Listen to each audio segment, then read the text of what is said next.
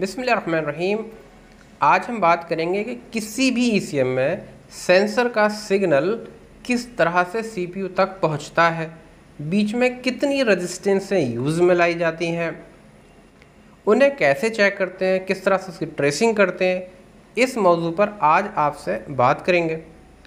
उम्मीद है आप इसे गौर से देखेंगे। हमारा न्यू बैच 16 अगस्त से स्टार्ट होने जा रहा है। बहुत रीज़नेबल फ़ीस पर। ओनली फोर डिजिट के अंदर फ़ीस है हमारी। हमसे नीचे दिए हुए नंबर पर आप संपर्क करें और क्लास ज्वाइन करें। इग्निशन ऑन करने के बाद इग्निशन सप्लाई मिलने के बाद जो सीपीयू है तो वो फाइव बोल्ट सप्लाई जो को ऑर्डर देता है। यहाँ पर पिन नंबर एट को पिन नंबर नाइन को। ठीक है? बीच में दो रेजिस्टेंस यूज़ किए गए हैं। टू ज़ीरो फोर यानी कि ये हो गया लगभग 200 के का 200 के का हो गया लगभग ये 200 के का ही हुआ फोर ज़ीरो लगेंगे। और इसके बाद ये हुआ आपका thirty five point seven K thirty five point seven K का दूसरा रेजिस्टेंस हुआ। तो अब ये किस तरीके से सेंसर को सप्लाई देगा, यहाँ सप्लाई कितनी होगी, यहाँ कितनी होगी और यहाँ क्या यहाँ क्या। ये अब हम पहले तो ट्रेस करेंगे ई में, इस इस सेक्शन को और उसके बाद इसकी सप्लाई को चेक करेंगे मल्टीमीटर से। सप्लाई देकर ये चेक करेंगे। ठीक।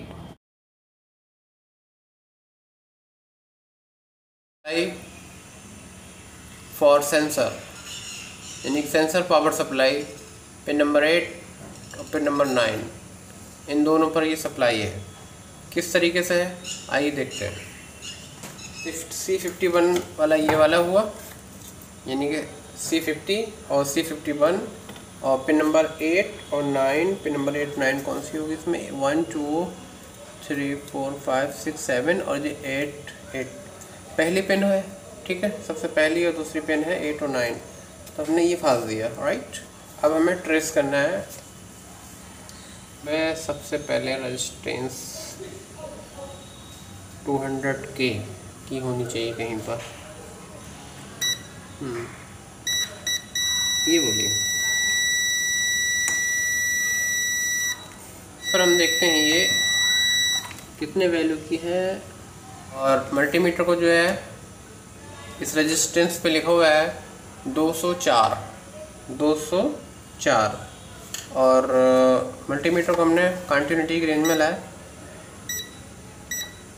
के पे लाए ठीक है? के पे लाने के बाद इस रेजिस्टेंस की वैल्यू चेक की कि कितनी वैल्यू शो कर रही है।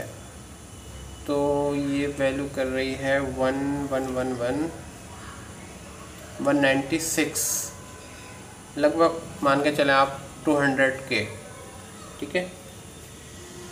ठीक है वो 200 के मान के चले 195 के है। बल्कि 96 है ये।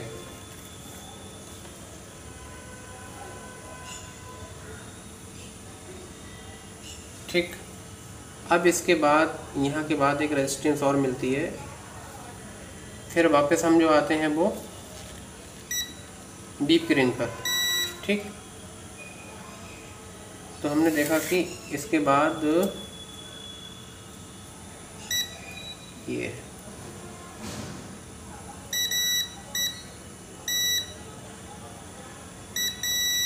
ये रेजिस्टेंस बोल रहे हैं। हमें ये देखना है कि ये जाति कहाँ पर है। जाति कहाँ है? आप, और हम जो है वो सीपीयू की तरफ़ अब आए। हमें इस तरह से सीपीयू पे देखना होगा।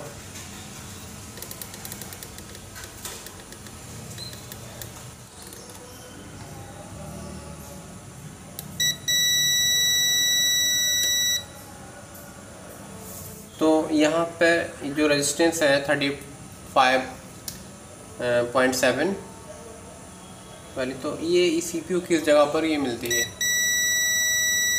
ठीक है, यहाँ पर ये सी पी यू की जो पिन नंबर थर्टी एट गालिबा है थर्टी एट के आसपास तो उससे ही मिलती है।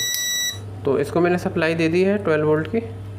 और वो डी सी की रेंज पे लाए आप ठीक डी सी की रेंज पे ले आए हम। और डीसी की रेंज पर लाने के बाद क्या करना है? हमें सबसे पहले यहाँ सप्लाई चेक करनी है दोनों साइडों में। इस डायोड पे जबकि इधर आ गई सप्लाई और कांस्टेंट रुको भाई, ठीक, आ गए। इसके बाद दूसरे वाले डायोड पे, जब तक यहाँ सप्लाई कंफर्म ना हो जाए, आगे बढ़ना नहीं है। ये ध्यान रहे। थर्टीन ठीक है आ गया है हम। और इस पर भी आ गई है। ठीक है? दोनों डायोडों पर आना चाहिए। इस सेट में एक पर आ जाए, लेकिन इधर आगे दोनों पे मिल जाएगी। तो वो कन्फ्यूजिंग हो जाता है। हमें आगे की इतनी नहीं, जितनी यहाँ की दोनों सेट की देखनी है। इसकी भी, क्योंकि ये पिन नंबर सेवन की है कनेक्टर जी ज़ीरो वन की है, और ये जो है कनेक्टर सी फिफ्टी की है इधर वाली। तो हमें ये दोनों को देखना होगा। ठीक है? तो ये दोनों आ गए अब हम आगे बढ़ते हैं।